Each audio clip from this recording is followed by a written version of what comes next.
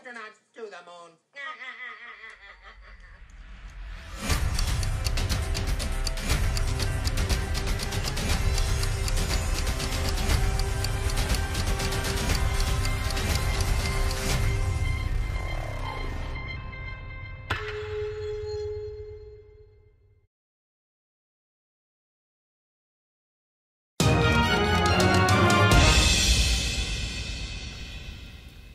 Sometimes popular opinion can create facts. We don't have time for a meeting of the Flat Earth Society. I think it's time we let reality dictate our facts.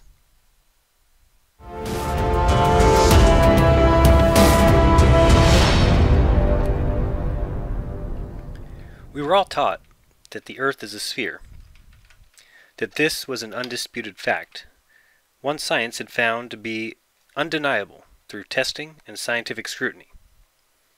Then we were taught that our ancestors and humanity had spent thousands of years in confusion, hopeless superstition, and inadequate comprehension, which led to the Dark Ages, a period that could have spelled the end of humanity had it not been for the advent of the scientific revolution that sprung up in the 16th and 17th century. It was in this scientific revolution that the ideas of the scientific method came into play, without which our current levels of knowledge might never have been attained. However, some people in the world still feel that these so-called facts, if they are in fact facts, should stand up to the scrutiny of testing. If yesterday's fact fails today's experiment, it must be tomorrow's former fact or science's previous incorrect conclusion. The scientific method claims to be a systematic and logical approach to discovering how things work. It is the body of knowledge accumulated through the discoveries of all things. Science is the knowledge of something based on demonstrable and reproducible data. The scientific method dictates that we should collect measurable empirical evidence in an experiment related to a hypothesis in the form of an if-then statement, the results aiming to support or contradict a theory. Here are the steps of the scientific method. First, make an observation, state your purpose. Second, ask questions, gather info and do your research. Third, form a hypothesis. Fourth, test that hypothesis. Fifth, analyze the data and draw conclusions. And six, reproduce the experiment. No reproducibility, no science. Our observation and our purpose. Despite what we are told and taught, several observations must be noted in regards to the curvature of the Earth. Number one, the horizon is not curved and rises with the observer. Second, the stars appear to make circles in the night sky for everyone on Earth. How is this possible on a sphere? Third, the Earth does not seem to be spinning by any test done on Earth. Four, the Earth does not seem to be flying through space at breakneck speeds. Fifth, the distances that would include a curvature do not seem to show one. Sixth, no real pictures or videos of the Earth exist from space. Our next step was to ask questions, gather info. We did research, and there is in fact no way to test or prove that the Earth is spinning. From there, we began to ask questions and realized that the answers we got were mostly in the form of name calling and threats, being referred to as idiots or retarded, ancient or stupid. We also had many people point us in several directions that did not jive with the actual results, such as asking us to look at the way water goes down toilets or drains in the northern and southern hemisphere. Research showed that this goes down the same way and has nothing to do with the hemisphere of the Earth. The axis of the Earth points to the celestial North Star, or Polaris, and as the Earth speeds along in its rotation and orbit of the Sun, while the Sun orbits the galaxy and while the galaxy orbits the universe, somehow, in that 11 plus billion mile journey throughout the year, the axis always remains pointed at Polaris and has done so throughout Earth's recorded history. For these reasons, as well as several others, we began to doubt the curvature of the Earth. In our searches, I found two methods of calculating the curvature between two spots on Earth and this being a preliminary test, we will be using these formulas, but please take note that they are approximate.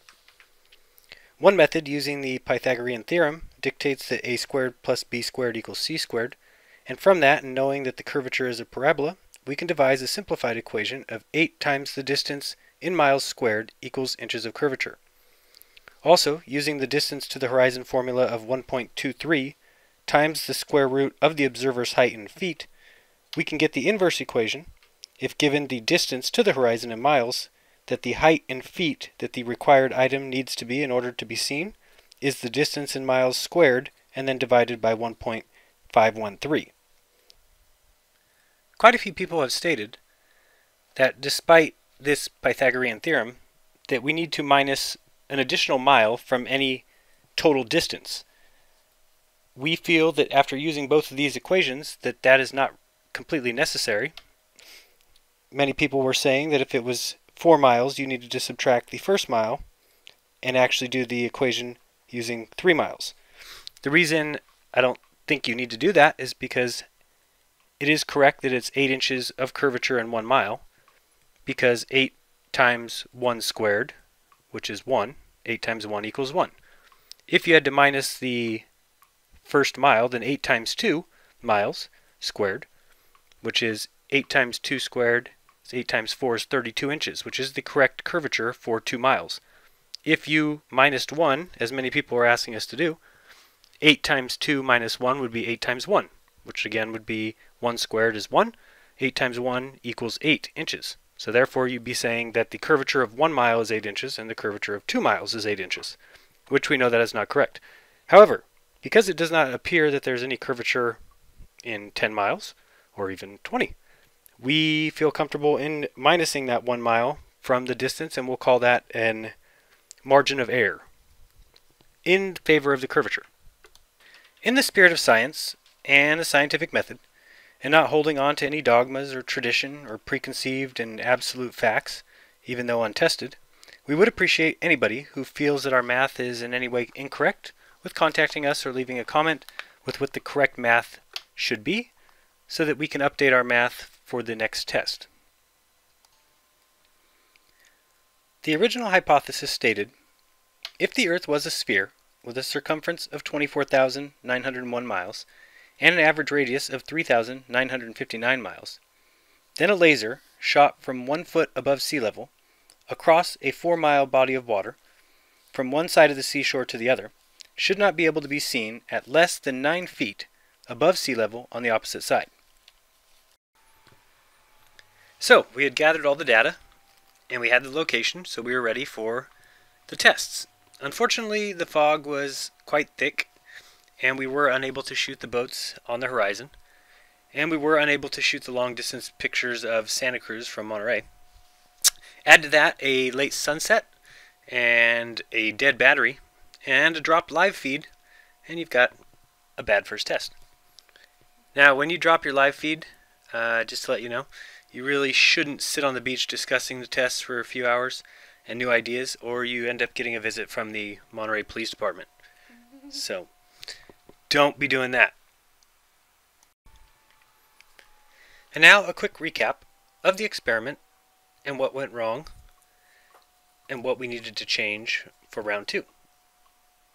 The original experiment was from Monterey or Pacific Grove, California, from Lover's Point, and we were attempting to shoot a 1000 milliwatt laser across the four mile stretch to Sand City, California and a little place called Message Hill. We had tested the laser a few days before just to make sure that it shot across that distance and it looked like it was absolutely no problem. We saw it reflecting from the the hill which is uh, behind the the shore there. So we had no issues with the length that the laser would go and it was definitely bright enough in the night sky. Uh, you can see the laser here on the screen is uh, incredibly powerful. Uh, was able to light a match with it and go straight through electrical tape. And there you can see a little diagram from Google Earth of exactly where we were shooting. And the total distance was a little bit over 4 miles. It was about 4.07, I believe. So, we had got there the night of the test and as I said, fog was thick, so we had to wait a little bit and make sure that we got to nightfall before we tried the test. When we got around to testing, we had somebody waiting on the receiving side and they had their video camera ready in order to show where the beam hit the shore. The hypothesis or the result we were looking for was we figured since we were shooting at one foot above sea level from the Pacific Grove side, that it would be impossible for that beam to hit anything below 10 feet on the opposite hill. Unfortunately, one thing that we weren't able to test on test night was when the beam hit the other side, it was reported that it was about 10 feet in diameter. So the beam obviously grew uh, quite large, was something we couldn't see on test day. And so that nullified the results, and we were all upset. And we're trying to think of ways as we sat there on the beach, how could we get this laser to go across and not lose its beam? Was there anything else that we had learned from the experiment that would tell us that we could get a definitive answer one way or the other? Now you can see on the screen from the zoomed in video camera what that beam looked like across the four mile ocean. And from this view you can actually see that that beam is quite large. It was so large in fact it would it wasn't even able to be videotaped or photographed. With such a large diameter beam, it was really starting to look like the only possible way would be for us to get a new laser with a more focused beam. Uh, nothing else seemed like it was going to work until it hit me that if I had gone to the other side. I mean, it's not just convincing me because I, I'm convinced, but I mean, for as far as video evidence, I'm wondering if the camera would be able to see the green light, especially like what you just said on the rock. Yeah. If I come in on this side of the rock and shoot the rock mm-hmm. and just make circles with the laser on the rock, if the camera saw that from across the water, if the camera's at water level, yeah.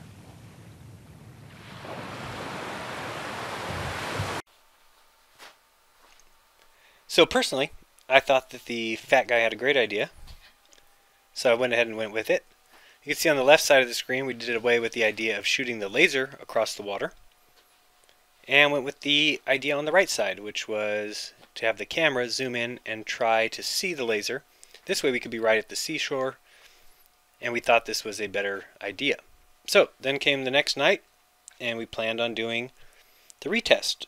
This time we had the cameraman stay in the same position at the Pacific Grove uh, Lovers Point side, and we went to the Sand City, Message Hill shoreside.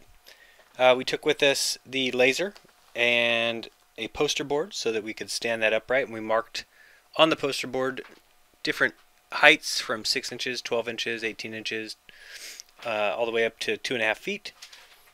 And we also uh, reformulated our hypothesis. We had also changed the math to take the 4 miles down to 3, just to give us that little cushion and uh, lean it towards the globe side.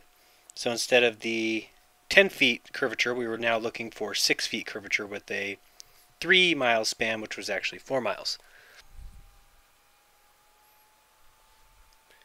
The new hypothesis stated that if the Earth is a globe or a sphere with a circumference of 24,901 miles, then at a distance at sea level of 4 miles, a camera at 3 foot high should not see anything below 3 foot on the opposite shore. So the cameraman set up his camera at sea level. The height of the tripod was 30 inches. The height of the camera was about 5 inches.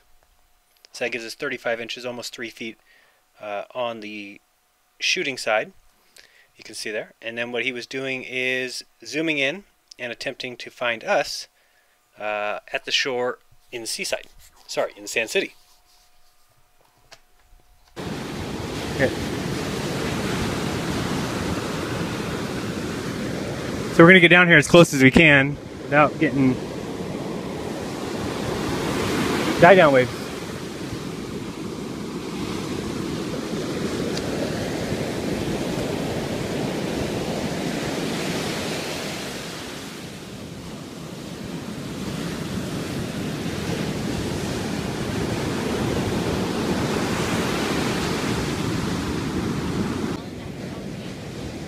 You can call him and see if he sees us, or I'll just sign the laser. We'll sign it to the ground or something. Yeah. I'll look for you do later. Okay. And I'll call him. Okay, call him and then tell him to watch me. And call him.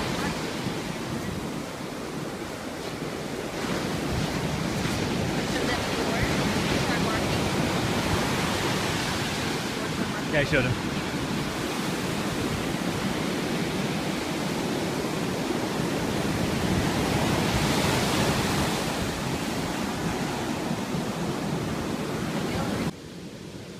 No, but I don't know how you wouldn't see us anyway without the laser. Okay, got me? Okay, beautiful. So, so you see, see, can you see this white cord? In front of me, I'm gonna shine on the cord. Okay, how far are you off? Now, for me, how far are and I know I tell you guys to not believe me, so do your own tests, but uh, this test was definitely definitive. Uh, four miles, and there's just no way that there is a 10 foot curve. It just isn't there, doesn't exist. Uh, I'm at the most two feet above sea level, that's maximum, um, and I get all the way down right to sea level. Uh, Patrick is 30 inches above, and he gets down uh, to a little less than that. And uh, he sees the laser with no issue unless I shine it right on the ground which how would he see that? And if we add in the three foot waves that you can clearly see well that says that there's no curve no way. So I'm really thrilled about the next one. Um, we are doing 13.25 feet and uh, I think that that keeping it kind of quiet where it's going to be and uh, Lover's Point is, you see the little when it's going to be, just because I think that could be there after the tree. uh, something they don't want to get out, is that that's supposed to be a hundred foot drop, oh, and it won't be there. And uh, you may call that being one-sided, but I've been doing these tests and looking at everything else, and I can't help it if nothing shows globe. What can I do? We just want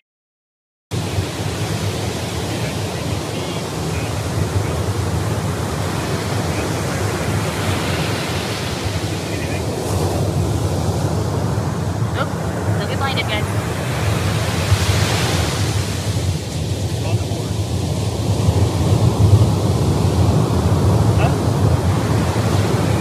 Okay, let's keep, uh, hold on. Keep doing it. So tell, I'm down at six, I'm down at six inches. If everybody can see that. And there's A little lower. probably, Uh, Go a little lower. Set six inches. Yeah, right there. I got it. Okay, want me to just do the laser so you can have it again? I'm just trying to figure out how high do you think I am above the water. Um, I think you're at sea level. I'm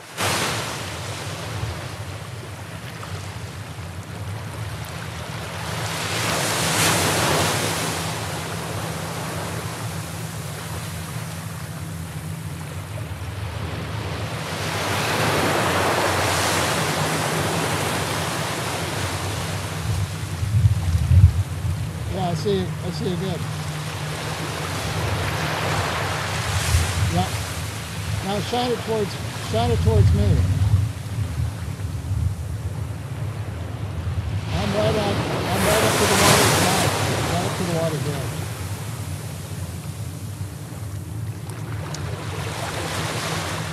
Um, uh,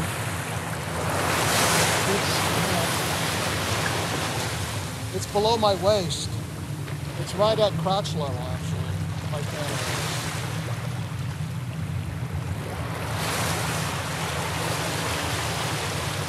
So it's it's higher higher than my waist. Higher than my waist.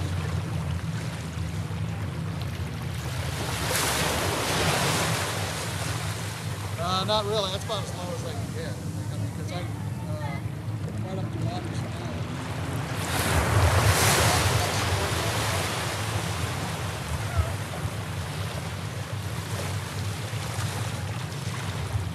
Uh, not if you know what I'm saying.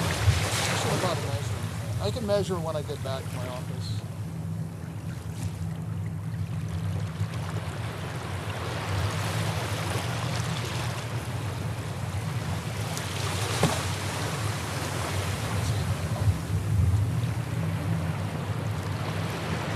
I'm still recording. Yeah. Yeah. Go ahead. you can tell me what-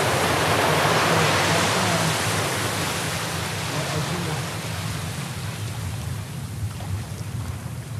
Yeah, I can see that. Right. There you are. I can see you now.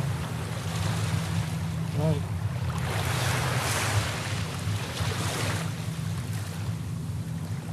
Yep, I can see the light.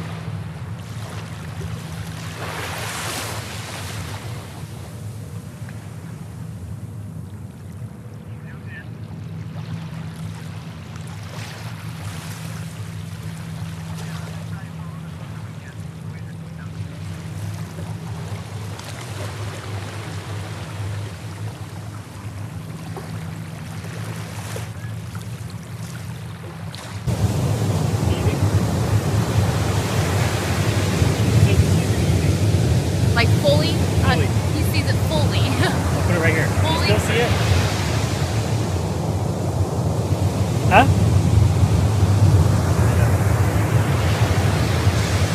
You can see the light. oh. Where'd she go? You're good, you're good, you're good. You can see that. That's amazing. Okay, so just tell them you can see it and they can sync that up with the video when we get it tomorrow. Okay, everybody. So Patrick says he can see fully. Zoomed in. He zoomed in and you can see the full laser. And we're those waves are pretty high too. So, Yeah, I'm gonna try and move a little closer can. Yeah. The way that we're down. but I'm pretty sure we're gonna match up the uh, the footage. Ready? Yeah. So we're even lower. A little bit closer to that. Okay. So I try and move again.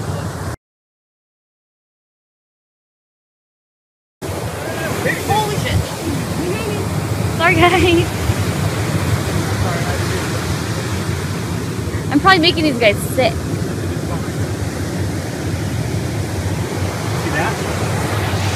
That's pretty low. Okay. That's good. Wow, really? That clearly?